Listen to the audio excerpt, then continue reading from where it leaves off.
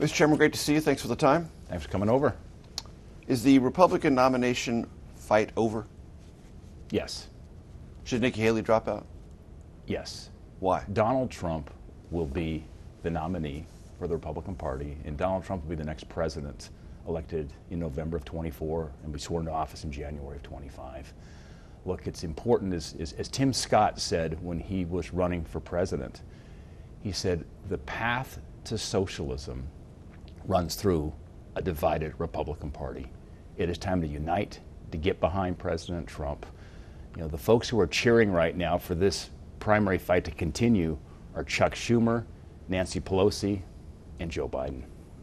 So if Nikki Haley continues camp, her campaign, she is, if I hear you correctly, Mr. Chairman, aiding and abetting socialism. Well, there's just not a path for Nikki Haley to win the nomination.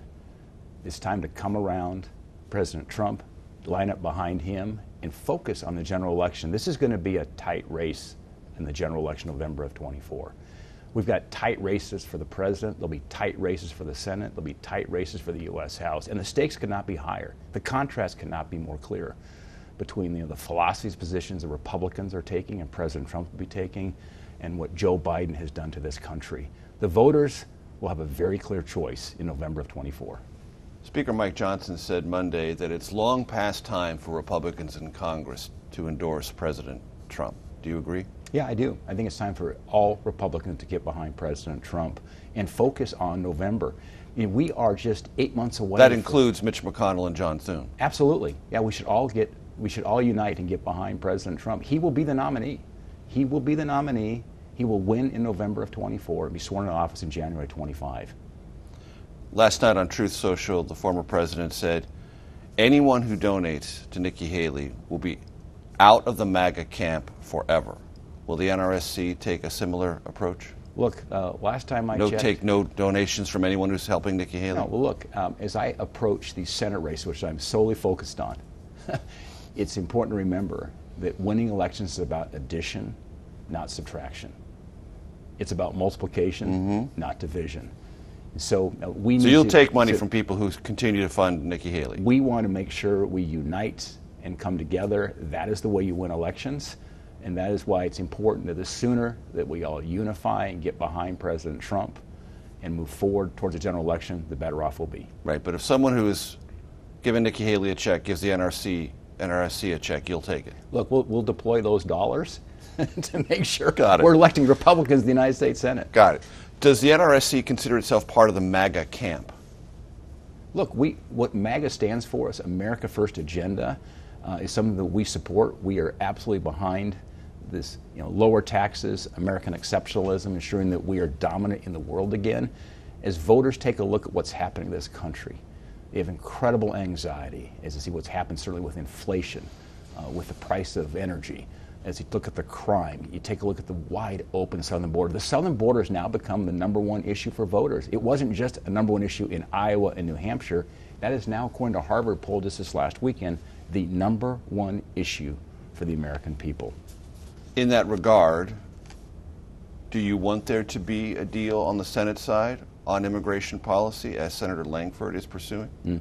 Well, what I want to see is the southern border back in control again. It is wildly out of control. Right. It's the Mexican cartels that have command but Senator Lankford is working in pursuit of policy changes that Senator McConnell has said might be the best Republicans could get in the last 10 years. Yeah. Do you want that to succeed? Are you in favor of that? Do you want that brought to the floor and voted on? Yeah, well, first of all, none of us have seen the text of the bill. That, that's the first thing we've got to see. But what I've got to see is make sure that whatever is put together here is a means to the right end, and the end here is securing the southern border. This is one of our single greatest threats to our national security. I've made three trips down to the southern border, seen the chaos firsthand. And to think the Biden administration, as we speak, is going to be going after Governor Abbott, the great governor of Texas, who's trying to protect Texas, protect the country by putting up you know, additional wire barriers there at Eagle Pass, which the American people have seen this flood of illegal migrants coming into our country. And to think the Department of Homeland Security, under Joe Biden's watch and direction, is seeking to remove some that Governor Abbott is doing to protect his people. I, I just, you have to laugh. The Department of Homeland Security should be called the Department of Homeland Insecurity. They're here to protect us, not to continue to, to, uh, to facilitate this, this uh, basically invasion on the southern border. Your colleagues on the Democratic side said yesterday that President Trump, if he becomes the nominee, will be an albatross for Senate candidates in 2024. Well, I, disagree? I laugh at that. You do. the, the albatross around Senate candidates will be Joe Biden. Look at the numbers. We've not seen a president so unpopular, you know, in a generation. His numbers are absolutely in the tank. Uh, go ask Jon Tester if he's looking forward to running with Joe Biden in Montana. I guarantee you this Joe Biden will not be showing up in Montana to campaign for Jon Tester. Joe Biden will not be showing up in Ohio to campaign for Sherrod Brown. Joe Biden will not be showing up in West Virginia, which they've already surrendered on, to support Would he whatever be in Democrat- Pennsylvania for Bob Casey? Uh, I, I think that Casey campaign would be shuddering to think about what Biden might do in terms of you look at the rank and file blue collar voters who are absolutely fed up with what, the, what this administration has done. So Gary Peters, your colleague on the Democratic side, told our Nikole Killion last week, quote, we're going to win. We have superior candidates. We continue to win on issues like reproductive freedom. So we're going to bring back all our incumbents and hold the states we currently have, including Michigan. Your reaction? Just start with what about West Virginia? He says he's going to hold all of our incumbents. Now I realize uh, Joe Manchin has He's reti- not counting that as an incumbent has anymore. You retired. know well, it's an incumbent state, and uh, I'll tell you what, uh, we've really worked. Okay, we'll hard. agree that's over. We, we've worked hard uh, at the NRSC under my leadership to uh, find candidates that can win not just primaries but general elections. That, that's what's key key to, of course, winning in November is candidates that have a broader appeal. West Virginia is is uh, is proof point one, where we recruited uh, Governor Jim Justice into that race. President Trump endorsed uh, Governor Justice in uh, in mid October, and by uh, mid November, Manchin announced his retirement. It's peace through strength. We're seeing this this continued uh, really momentum growing here across these key battleground states. Remember, in states like Montana and Ohio, every single statewide elected official is a Republican, except for Jon Tester in Montana and Sherrod Brown in Ohio. President Trump will carry both those states overwhelmingly. And so uh, Gary Peters is a friend of mine. I respect Gary. Uh, I think he's dead wrong on that assessment. Talk to me about Kari Lake in Arizona. When we spoke in July, you said you'd had good and robust conversations with her about focusing on the future. Yesterday, the chair of the state party in Arizona resigned because of a story based on recordings that Kari Lake made of their conversations 10 months ago. She alleges the state party chair is unethical. Is Kari Lake a problem for you in Arizona? Look, Kari Lake is an outstanding candidate. In fact, I think she is one of the most talented candidates we have across the battlefield in the Senate races in this country. She's very articulate, she's very passionate. And look, the, the latest polls, in fact, a PPP poll that's a mm-hmm. Democrat poll that came out of Arizona in the last two weeks, show Kari Lake beating Gallego head to head. So Kari not only is a strong candidate, Kari Lake is going to be the next senator from the state of Arizona. Is she on the ethical high ground here in this dispute with the party chair? Look, I mean, Kari, Kari Lake, and I, the first I knew about this was I saw the social media report yesterday. I, I haven't, in fact, even listened to the recording, but I saw it out there in the social media buzz. Um, look, she is a solid, strong candidate. Uh, she pushed back, according to the reports I've read, she pushed back on any attempts here to try to, you know, bribe her out of the race. She pushed back against that. To me, that's a, that's a high standard of integrity. She's doing the right thing, and uh, we're glad to see Kari Lake in that race. And I think Kari Lake is going to be the next senator from Arizona. When we talked in July, you said former President Trump was helping you in this larger pursuit of candidates who can not only win primaries, but win the general. Has he done that in Ohio with Bernie Moreno? So uh, we've stayed out of Ohio. I know you have. But to tell you, I mean, uh, Bernie is a is a strong candidate. To be Frank LaRose is a strong candidate. Matt Dolan's a strong candidate. We think we have three good candidates in Ohio. But it's not lost on any of us that when President Trump steps in and endorses a candidate, uh, it is a huge boost to their candidacy. We saw that with J.D. Vance in 2022. You know, J.D. was uh, was not leading Nope. in, in that primary in those primaries at that moment. And it was President Trump's endorsement of J.D. Vance that propelled him to, to the primary win and the general election Are win. you foreshadowing a similar impact in Ohio this I, time? I think so. You know, we, we, there's been some polls that's come out that, that show that uh, Moreno is starting to show some, some leads in that primary. It's been That rocket fuel's point- real. Oh, it's, it's very real. It's very real. I mean, that's a, that's, a, that's a big win for Bernie Moreno to get that endorsement uh, from President Trump. when do you expect Matt Rosendale to announce his candidacy for the Senate? Yeah, I don't know. Um, I've You known, know it's coming. I've known I've known Matt a long time. I know you have, but you know and, it's uh, coming. and he, he's a good friend. Um, yeah, he, he, he may he may indeed announce. Uh, he's been talking about an announcement for uh, for several months. He's been talking about this since last summer. But uh, I think at some point he probably will get in that race. I hope he stays in his House seat and continues to build seniority for the great state of Montana. But uh, you know, it seems like he- may be getting in that race, and we'll see what happens. Will you endorse in that race? I already have. Yeah, I've endorsed with Tim, Tim, I'm Tim sorry. Sheehy. Yeah, yeah, Forget- I've endorsed in that race. So, when you think about Matt Rosendale, do you think it's a mistake? Well, look, I think you know primaries generally are not always helpful, and so I think it'd be better if Matt Rosen were to stay in the in the House and build seniority. But uh, we'll see what he does. Uh, that that'll be his news to break if he indeed decides to get in that race. But he'll lose. I tell you, Tim Sheehy is an outstanding candidate. You look at uh, again, you look across the battlefield across the United States. You have um, you know a 37-year-old man who served 100 combat missions as a Navy SEAL. He literally has Iranian shrapnel in his body. His wife, also a graduate of the Naval Academy, as Tim is, uh, served in the Marine Corps. They both served in Afghanistan. In fact, they were married by a judge in Kalispell, Montana, because Montana is the only state that allows a double proxy wedding. It's a great story. Uh, he's also a great businessman. He's going to be a very strong candidate. Montana has the second highest per capita veteran population in America. A veteran like Tim Sheehy will be very appealing, not only to Republican primary voters, but very appealing in the general. Back to Arizona real quickly. When we talked in July, we were both uncertain, and we still are about Senator Sinema. Yeah. What difference does that make? You know, um, in the polling that we have done, uh, both you know our private polling and, and, and the public polling, you see that uh, those it, those voters that are supporting Kyrsten Sinema are breaking about evenly between you know a Gallego candidacy and a Lake candidacy. In fact, that PPP poll Mm-hmm. showed uh, showed Lake ahead of Gallego in a head-to-head two-person race. And so I, I think you know it's, it's becoming increasingly likely that Kyrsten Sinema uh, does not run. She's got to finally get some 40,000 Mm-hmm. plus signatures to get on the ballot as an independent. And when you when you have to go through the signature process, you have to get extra than just the minimum, probably 50% more. So Mm-hmm. Sure. probably 50, 60,000 signatures. That's a big undertaking. She has till April 8th to do that. So we're not seeing any signs she's doing that. Uh, you know, I, I work with Kyrsten. You're assuming she's her. not running. Well, it's looking increasingly likely she's not. But uh, but So it's e- either, either either way, either way, there's a path. And you like the way that lays? Yeah, I do very much so. Diagram Michigan for me. Look, I think Michigan, Michigan is the under-discussed race right now uh, in this cycle.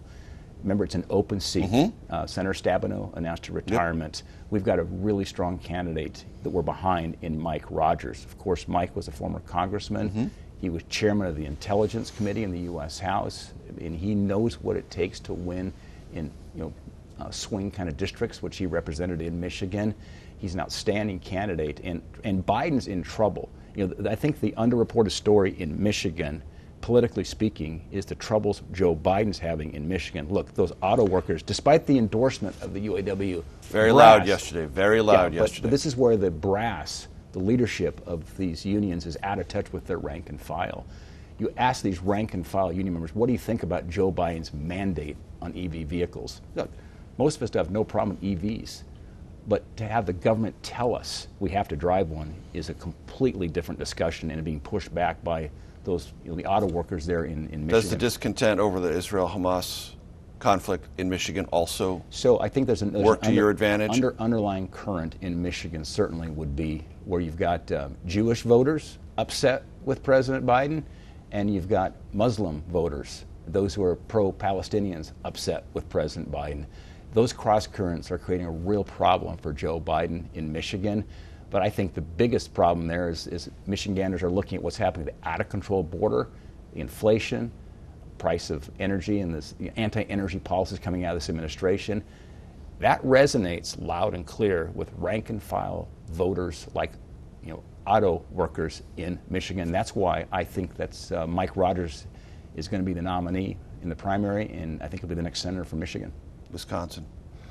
So we'll have news to break there probably uh, this coming month. Go ahead. In February. Well, not not yet, I, I, but it looks like uh, uh, Eric Hovde mm-hmm. is uh, is looking at that race very seriously. Uh, he'll be. That's he, the news you intend to break. Well, yeah. Well, well, well.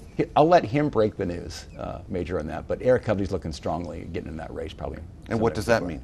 Well, I'll tell you what. It puts Wisconsin in play. Um, it's a state that you, you, you, step back and look at at uh, what happened in the 22 election. Every state that Trump won, we won the Senate race in 22 every state that Trump lost, we lost the Senate race in 22, except for Michigan. And Ron Johnson won his reelection. Wisconsin. So in, in, excuse me, except in Wisconsin when Ron Johnson um, won, mm-hmm. won his reelection there. So, uh, you know, Eric ran against Tommy Thompson years ago in that yep. primary. It was very competitive. He's been focused on his private sector career and building jobs and building businesses, and uh, I think he'll be a great candidate if he gets in. Let me run something else that Gary Peters told our Nikole Killion last week. Direct quote. We have real opportunities in both Florida and Texas to pick up two seats. Do you want them to spend a lot of money in Florida and Texas? Bring it on. They will, and it's going to be money wasted. Look, we've got two great candidates there in uh, Ted Cruz in Texas and Rick Scott in Florida. Uh, they're both taking the races very seriously. As you always say in politics, run like you're five, ten points mm-hmm. behind. And they're both doing that, even though they're ahead. Uh, they're both great candidates. I'll tell you, I mean, again, I respect Gary Peters, but uh, that's a statement that almost deserves a chuckle. Go ahead and spend $100 million in Florida. Knock yourselves out. You know, you saw them do that against Lindsey Graham in South Carolina. They spent a ton of money to beat Lindsey Graham. It wasn't even close. Mitch McConnell, uh, too. And, and certainly in Kentucky, the same thing. So I think, you know, if they and want both to, Florida they, and Texas are much if, more if, expensive than South Carolina. If, they're putting a bunch of money into Texas and, uh, and into Florida, uh, that, that's their choice, but uh, I'll tell you, uh, I would not be betting against Ted Cruz in Texas and Rick Scott in Florida. As you think about it, Mr. Chairman, what's the upside number for this cycle for I, you? I want to see a majority. You know, we're halfway through this cycle. In fact, we're past do, the halfway What's the upside number? What's, what's your most aspirational number? I want, to, I want to get a majority. That's 51. Mm-hmm. What's possible beyond 51? I'll let you decide that. but I, you know, we we've got the best map in 10 years. Uh, we've got some of the you know the best. So you can't blow it. And uh, well, we're not going to blow it. We're going to get the majority back. You are. But we've, we've got a we've got a great map. Uh, you think about our in 11 incumbents that we're defending versus the Democrats mm-hmm. defending 23. So right away you start with a two to one advantage just in terms of seats that are in play. But importantly, those 11 Republican incumbent seats are in, in you know, Republican states, starting with Texas and Florida, and then you get you know, very red states like uh, you know, Utah mm-hmm. and, uh, and Wyoming and so forth. So. so. this will be the first national election since Dobbs. Mm-hmm. Abortion has played on the Democratic side of the issue in race after race after race, even in the Virginia legislative races here in 2023, in referenda across the country, in other places. It seems to be something that the party on your side is having a hard time discussing and have a hard time dealing with. Mm. There'll be initiatives in several of the states in which you're going to be running Senate races. How problematic is this issue, the framing and the motivational factor it's clearly having not only on Democrats, but on lightly attached Republicans and yeah. urban voters? Well, look, first of all, the Democrats can't run on the most important issues the American people have identified in polling, which is the out of control border inflation, inflation and immigration, the two eyes. Absolutely. The, the flood of fentanyl coming into our country, the crime resulting across our cities yeah, and communities. That was, the, that was the playbook in 2022. But I'm saying, but they can't run on those issues. So what they have to do is they have to identify an issue to, to move away from the core issues that most American people care about the most, and that's abortion. Is they're trying to make that the issue in the 24 election. Look, here's where we stand on it. And we'll be very clear on this. We need our candidates to look right at the camera and lay out this position. And number one, it's a lie to suggest that Republicans want to see a federal ban on all abortions. That's a lie. That's absolutely untrue. Second, we believe we should have exceptions for rape, incest, and the life of the mother. Three, we believe there should be reasonable limits set on late term abortions. That's the Republican position. Contrast that to the Democrat position.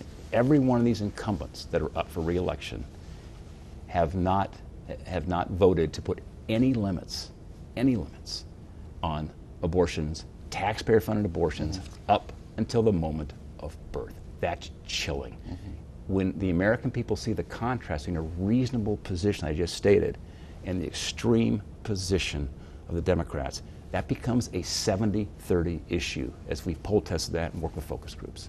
But you know, Mr. Chairman, at the debate in Ohio, all three Republican candidates endorsed a federal ban. Kari Lake has endorsed a law in Arizona that is not what you described. In Wisconsin, there's a conversation about a law there that is much more aggressive than the position you just described. Those are realities.